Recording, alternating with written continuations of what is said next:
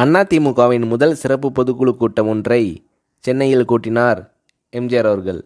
ஆயிரத்தி தொள்ளாயிரத்தி எழுபத்தி நாலாம் ஆண்டு ஜனவரி மாதம் நாலாம் தேதி நடைபெற்ற இந்த சிறப்பு பொதுக்குழு கூட்டத்தில் மாநிலம் முழுவதும் இருந்து வந்திருந்த சுமார் ஐநூறு பிரதிநிதிகள் கலந்து கொண்டனர். இவர்கள் அனைவரும் சேர்ந்து அதிமுகவின் பொது செயலாளராக எம்ஜிஆரை ஒருமனதாக தேர்ந்தெடுத்தனர். கட்சியின் அவைத்தலைவராக பாவலர் முத்துசாமியும் பொருளாளராக எஸ் எம் துரைராஜ் எம்எல்ஏவும் தேர்ந்தெடுக்கப்பட்டனர். கட்சி பணிகளை கவனிப்பதற்காக பதினைந்து செயலாளர்கள் நியமிக்கப்பட்டனர்.